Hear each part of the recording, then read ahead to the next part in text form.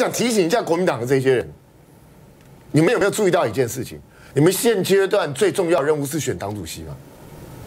哎，是这个是这个东西吗？对国民党来讲，现在最重要的是什么？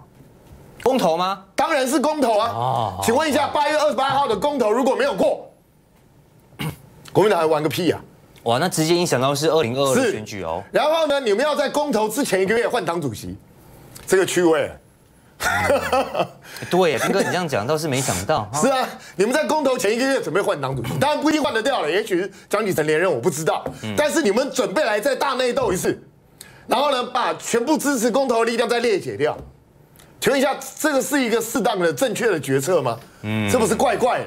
嗯，而且我想请教一下，假设不是江启臣连任，假设是未来不知道哪一个主席上来之后，八月二十八才一个多月哦，立刻面对什么事情？假设公投输了，这个主席要不要继续干下去啊？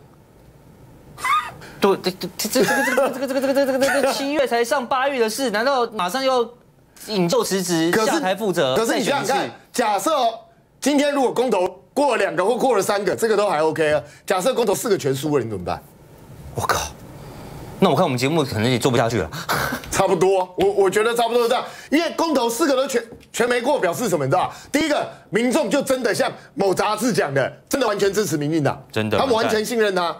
然后第二个，你国民党的新任党主席带领大家第一仗就打得如此难看，请问一下，你怎么当党主席啊？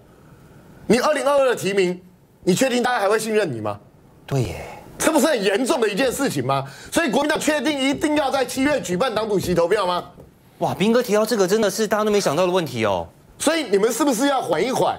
至少等到八月二十八号公投结果出来之前，至少在八月二十八号之前凝聚展现给全社会看，国民党是团结的。大家现在只有同心一意，只有一个目标，就是公投要过。等到公投过了之后，再决定你要不下一任党主席到底是谁，不差这几天嘛。国民党的规矩其实随时都可以改。